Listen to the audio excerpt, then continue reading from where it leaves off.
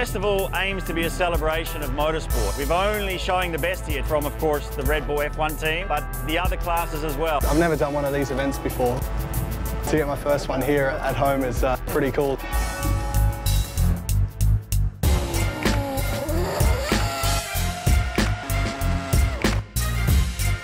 It's still a bit surreal, you know, driving one of the streets in, in an F1 car. Probably sinking a bit later on.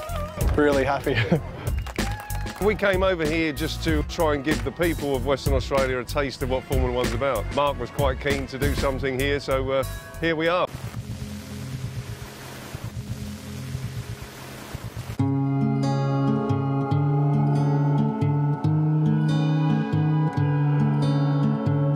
Time I was here, I was 17 or 18, so it's about 16, 17 years ago. Obviously, it's a pretty tiny little track, and so the F1 car is a bit big, but it's good to be here. At least the people get to see an F1 car in, uh, in the flesh.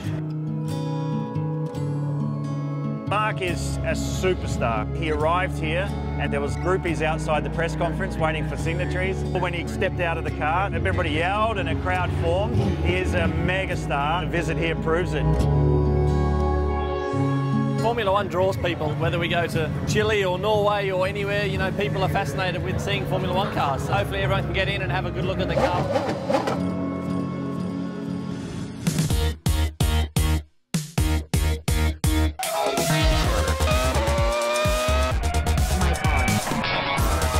Formula One in general this year was an amazing season. Interest in general has gone up in this part of the world because uh, they've had an Australian towards the front of the grid.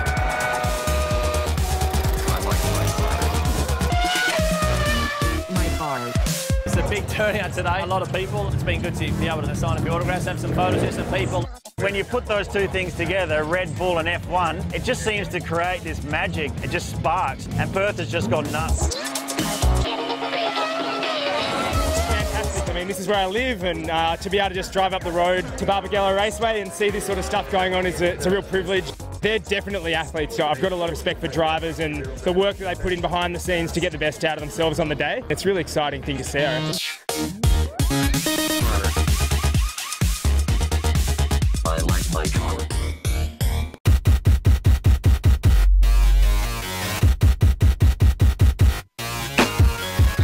pretty overwhelming. When we got there, opened the car door and, and got out, all of a sudden there was little kids and, and everyone asking for a, for a photo or an autograph.